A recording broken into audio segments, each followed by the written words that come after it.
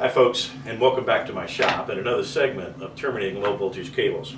I'm Ron, and uh, you know, the other day I had a guy tell me that my 10 minute video on uh, how to put a modular plug on the end of a Category 5E cable at 10 minutes was just way too long. And you know, I, I thought about that for a minute, and I understand what he's saying, but you know, I told him, thinking, you know, there's a lot of great information in this video. I talk a lot about, you know, the twisting and the cabling itself. I talk about all the different parts and pieces of the actual modular plug and a few tips to, to think about when you're buying these things. Um, and uh, so I cover a lot of information in that in that time frame.